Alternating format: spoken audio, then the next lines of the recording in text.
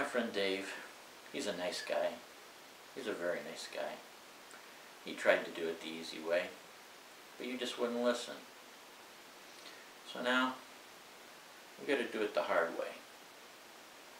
You let your friends down, you let your family down, but most of all, you let your biker bros down.